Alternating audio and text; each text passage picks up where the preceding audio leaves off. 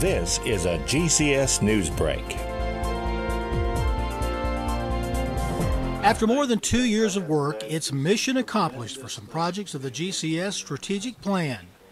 Superintendent Green marked the occasion with a thank you to project team members and leaders for various components of the plan that have been completed. Green outlined the strategic plan not long after arriving as superintendent of GCS in 2008, calling it the district's roadmap for achieving educational excellence. It includes strategies designed to boost student achievement, increase family and community involvement, improve district service, increase the teacher retention rate, and improve school safety and discipline. Certificates, a handshake, and a thank you go out to those who help accomplish the goals. Thanks to the Cemala Foundation, some Guilford County school students and their families are getting computers free of charge.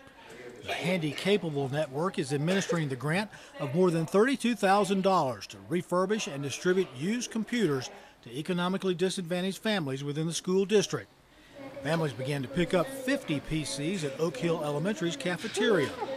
Assistant Principal Ashton Clemens says children need access to technology outside of the school day. I think everyone knows that computer literacy is critical in any field at this point, um, whatever job you're going into, and just basic communication and personal skills. So many people are doing banking and everything else online, so it's really critical that these families and especially these kids are getting some computer skills to be able to be prepared for the future.